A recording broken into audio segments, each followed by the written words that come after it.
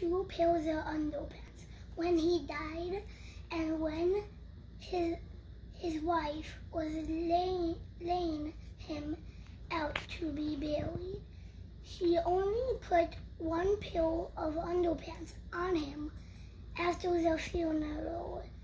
The old man ghost kept coming back to the house.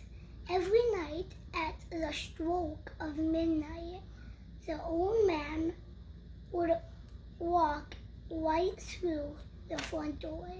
His wife, his wife was so scared that she moved away, but the ghost followed her.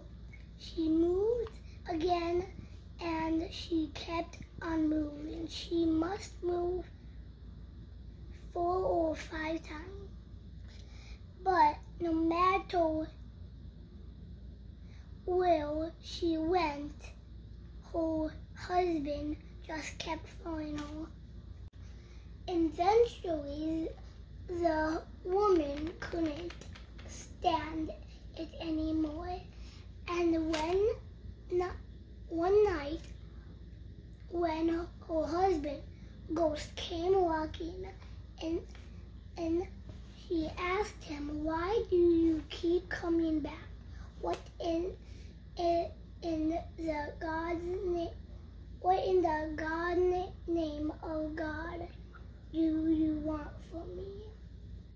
He looked at her for a long time, and finally he said, Honey, please give me a little, a little pair of underpants.